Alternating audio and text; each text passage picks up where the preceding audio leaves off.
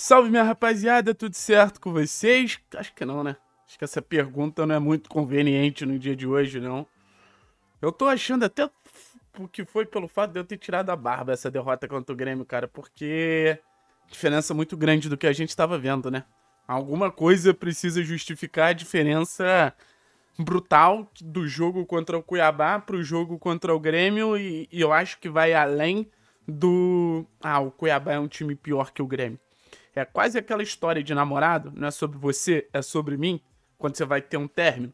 Eu acho que a diferença de competitividade, de estado anímico, de nível técnico do Atlético foi muito sobre o Atlético e menos sobre o adversário. Muito menos sobre o adversário. Então, resultado frustrante, que poderia até ter acontecido se o Atlético tivesse mantido o grau de competição do primeiro tempo, tá?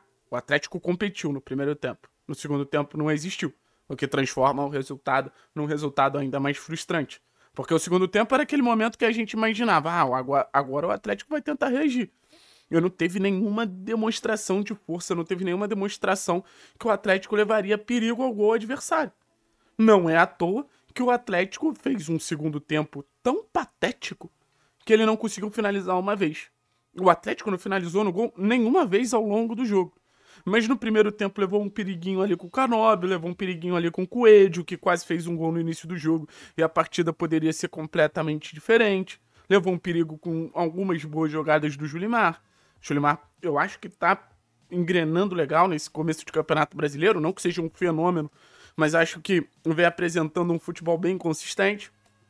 Acho que um, um dos poucos elogios que eu posso fazer nesse jogo.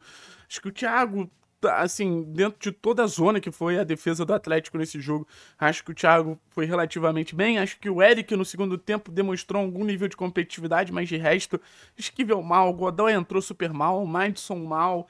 É, vamos lá, o Kaique oscilando entre bons momentos e momentos muito ruins. Canóbio teve seus momentos, mas momentos muito ruins. O Mastriani muito solado, então. Ai, gente, o Alex Santana e o Zé Vitor. O que, que foi o Alex Santana e o Zé Vitor? E é com esse mote que eu quero falar sobre o personagem desse vídeo. E você vai me achar até um pouco, porra, aproveitador. Caralho, fez um vídeo essa semana falando que técnico faz a diferença e agora já tá fazendo um vídeo dando porrada no Cuca. Eu tô fazendo um vídeo dando porrada no Cuca porque eu sei o impacto que ele causou no Atlético. Eu não tô aqui dando porrada em qualquer um. Eu tô dando uma porrada no cara que fez a gente ter o mínimo de esperança e, e, e poder sonhar em relação ao final da temporada. O Cuca ele é um personagem importantíssimo da temporada do Atlético. Importantíssimo. Mas ele errou. E ele sabe disso. O Cuca sabe que errou. E eu nem vi a coletiva ainda. Eu vi um, só um print ali do, de um post que o Vicenzo fez na rede social ali no Twitter. Que ele falava, a culpa foi minha e tal. Ele sabe que a culpa foi dele. Pô. O jogo passa muito pelas decisões do Cuca. Porque ele entra basicamente com a mesma base que a gente jogou contra o Cuiabá. Canóbio, Coelho e Julimar ali atrás de um centroavante, Eric e Fernandinho, dois laterais, dois zagueiros. Até aí uma decisão ok, o time foi muito bem contra o Cuiabá. E o time começa bem contra o Grêmio. Não é um Atlético frágil no início do jogo contra o Grêmio, muito pelo contrário. Se você pegar ali até o gol do Grêmio, a gente estava melhor que o Grêmio. Levando mais perigo que o Grêmio. E o Atlético muito bem, tendo a bola, ocupando o campo de ataque com tranquilidade. A questão é que foi depois do gol. Foi o primeiro grande baque do Atlético. Jogada ali pelo lado esquerdo, cruzamento do Pavon, o Esquivel não conseguiu gerar qualquer tipo de pressão ali no Pavon, Cristaldo acabou fazendo gol. Uma movimentação que a gente avisou no pré-jogo. Essa movimentação do Cristaldo aparecendo como falso 9, mas beleza. O Atlético sentiu muito gol. O Grêmio começava a chegar, começava a chegar, começava a chegar, começava a levar perigo, começava a incomodar. Aí você tinha ao lado esquerdo como principal, ali no corredor do esquivel, como principal fonte de chegada do Grêmio. O Coelho também não se apresentava para gerar nenhum apoio defensivo ali. E o, e o Cuca resolve fazer, na minha visão, a primeira grande cagada. Tira o Coelho, bota o Alex Santana. E a cagada é porque, pô, ele tirou o Coelho zero. O Coelho poderia sair, mas ele tinha três opções melhores. Ele tinha Filipinho, ele tinha Christian e ele tinha Zapelli no momento onde o Atlético ainda competia, no momento onde o Atlético tinha dificuldade de chegar ao gol adversário, no momento onde o Atlético precisava de criatividade e vitalidade, o que esses três jogadores podem oferecer.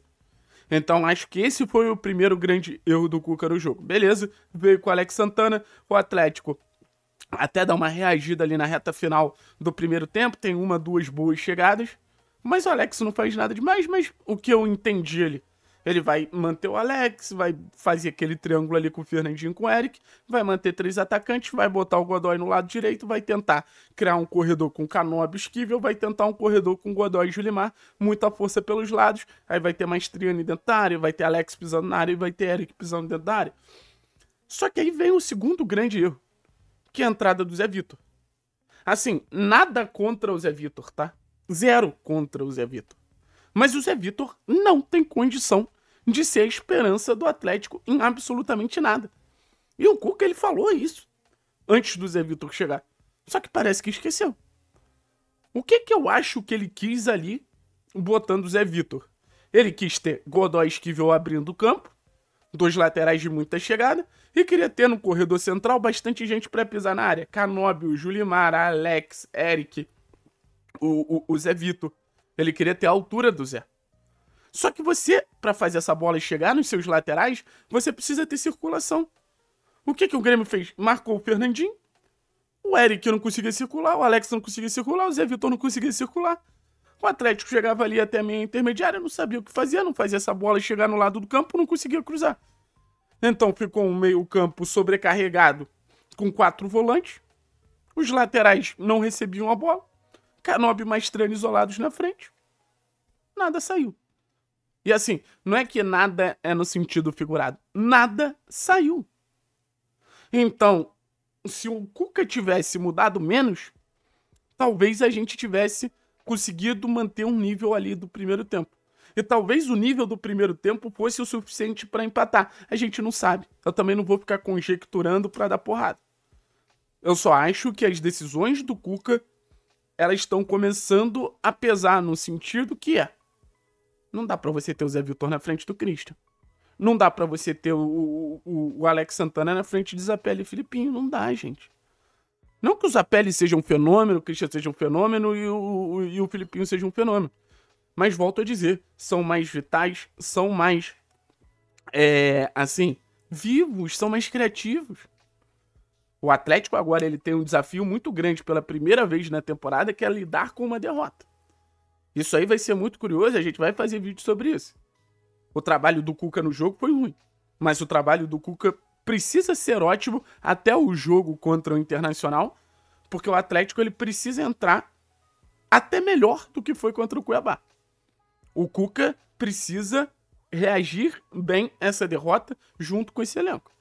Se esse elenco reage mal, se esse elenco sofre e fica remoendo essa derrota, vai vir derrota contra o Inter, vai vir derrota contra sei lá quem, vai vir derrota contra sei lá quem. O Campeonato Brasileiro não tem tempo de ficar remoendo.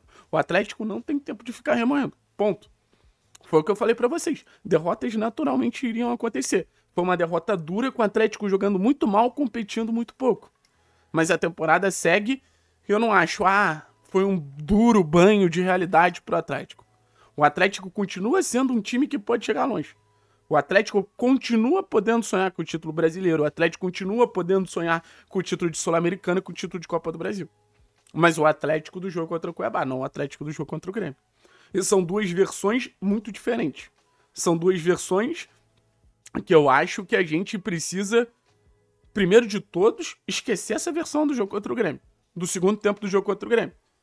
E lembrar que o Atlético do jogo contra o Cuiabá é o Atlético que a gente quer ver todo o jogo. Ah, mas não vai ser possível. Então, precisa, no mínimo, competir. Algo que a gente não fez no segundo tempo. O Atlético agora tem alguns dias para se preparar. O Cuca tem alguns dias para repensar. E eu espero que o Cuca repense. Tem jogadores que não vêm sendo utilizados que merecem oportunidade. Até mesmo o Romeu Benítez. Se você for parar para pensar que estava quase saindo.